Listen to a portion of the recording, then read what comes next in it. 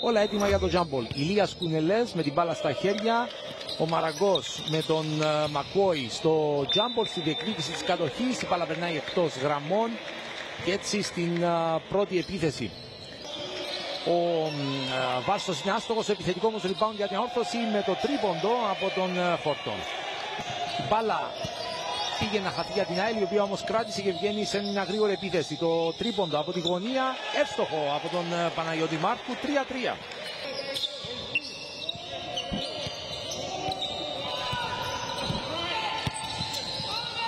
Το τρίποντο, εύστοχο από τον William Τάλτον.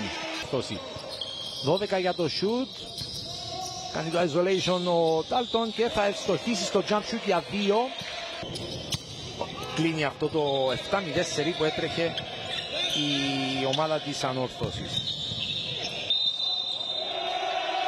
Γκολ φάουλ για την ε, ανόρθωση με τον ε, Τρετιακό εδώ. Τζιμιτέρο με ύψος 2-8 καθάρισε και αυτή την ε, φάση. Η στροφή 360 μοιρών. Πατάει για το τρίποντο. Σέπερ πετυχαίνει το καλάθι. Εκεί που λέγαμε για τα πέντε συνεχόμενα άστοχα τρίποντα της ΑΕΛ. Ο Τζόρταν Σέπερ Τζόρταν Σέπερ άστοχο. Το rebound μακρινό για την ανόρθωση που βγαίνει γρήγορα στο fast break με τον ε, με το τελείωμα κοντά στο καλάθι από τον Φόρτον. Πολύ ωραία η πάσα, η assist. Σέπερ τρύπωσε και νίκησε τον ε, Μαραγκό. Η Άιλ είχε προηγηθεί με ένα πόντο 7-8.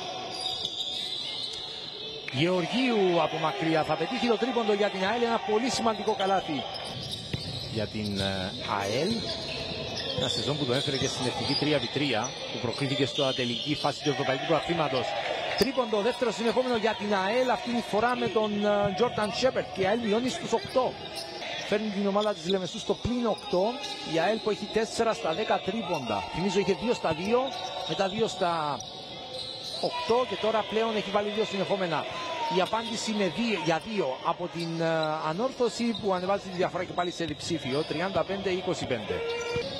Ο Χένρι εκεί είχε την επαφή με τον uh, Χόρτον, δεν υπήρξε παράβαση σύμφωνα με τους συνεχίζει το παιχνίδι, το σούτ για τρεις, καλάθι τριών πόντων και φάουλ για την ΑΕΛ με τον uh, Σέπερ. Η assist για τον Τέιλορ, ο οποίος τράβηξε πάνω του άμυνα της ΑΕΛ και έδωσε την ευκαιρία στο Σκίνερ από κοντά να πετύχει το καλάθι. 2,5 λεπτά για το τέλος του πρώτου μηχρόνου. Γεωργίου, το σουτ για τρεις. Εύστοχος ο Μάρες Γεωργίου, ο οποίος δίνει έξι πολύ σημαντικούς πόντους στην ομάδα του, έχει και δύο rebound και δύο assists μέχρι στιγμής. Πιέζουν της ανόρθωσης, κατεβάζει την μπάλα ο Χριστοφίδης, χάνει όμως, θα κλέψει ο Τάλτον, ο οποίος θα βάλει το καλάθι απέναντι στον νεαρό, τον Μιχάλη Χριστοφίδη. Χριστοφίδης, ωραία, ξέφυγε. Άστοχος όμως το επιθετικό rebound και το κάρφωμα από τον Ατόγκ Μακουόη.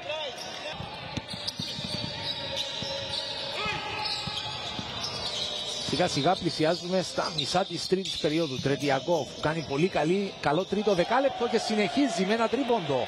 Ο Γιώργος Τρετιακός πανηγυρίζει με στιγμή τη γροθιά. Μόσα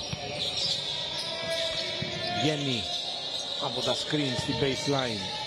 Ο Χόρτον, ο Σκίνερ θα πάρει το φάουλ από τον Μύθιλο, θα βάλει το καλάθι και θα πάρει και την πόλη. Εδώ ξανά, Σκίνερ. Πήρε με τη μία γύρισε, εκτέλεσε εύστοχα για το 61-50. Είναι ο πρώτος σκορέ της ανόρθωσης. Κλείνεται ο Κάμινγκς, βγάζει έξω στον Σέμπερ. Τέλος των 24 που λαβαίνει η ΑΕΛ κάνει το σούτ και σκοράρει με τον Φίλιπ Χέντρι που ανεβαίνει τώρα στους 4 πόντους. Το rebound του William Τάλτον.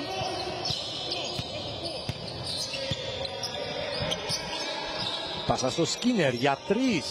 Σκοράρει από τις 45 μοίρες που έχει πλέον 4 στα 19 από τα 6,75. Είναι χαμηλό ποσοστό παρόλα αυτά μετράνε, ειδικά τώρα προς το τέλος του αγώνα τέτοια εύστοχα σουτ. ΑΕΛ θα πάρει φάουλ, θα, βάλει και, θα πάρει και βολή με τον Φίλιπ Ντεζόν Χένρι. Η ανόρθωση θα πάρει άλλο ένα επιθετικό rebound. Είναι το 14ο της. Σχεδόν ως αμυντικά rebound έχει η ΑΕΛ. Και αυτή τη φορά η ανόρθωση θα βάλει το καλάθι. Δεύτερη ευκαιρία σουτ με τρίποντο από τον Σκίνερ. Τελευταίο λεπτό στο παιχνίδι.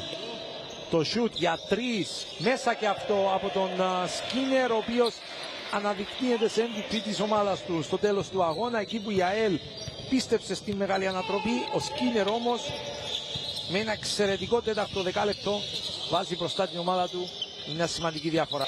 Η ισοβαθμία καμιά φορά παίζει ρόλο, το είδαμε στα προηγούμενα χρόνια και έτσι η ανόρθωση θα πάρει την νίκη με 13 πόντους διαφορά αντί 11 που ήταν το σκορ πριν από λίγο. Διότι πέτυχε τις δύο βολές ο Χόρτον, ο οποίος με τις δύο του βολές αυτές θα πάει στους 19 πόντους. Νίκη λοιπόν για την ανόρθωση 91-78 απέναντι στη Πέα Βολέκα ΑΕΛ για τη δεύτερη αγωνιστική της ΟΠΑΠ Basket League.